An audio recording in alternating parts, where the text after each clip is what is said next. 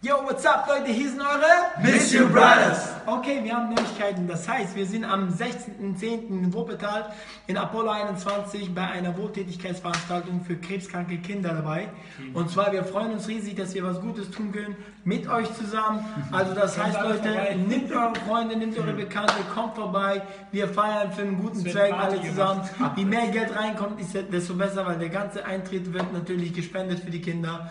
Und deswegen, Leute, würde ich mal sagen, wir sehen uns dann da. Und das ist hier noch extra für euch. Check's out. Cause I bought it all or nothing at all. There's nowhere left to fall when you reach the bottom. It's now or never. It all? Oh, we just friends. Is this how we dance with a simple telephone call? You leave me here with nothing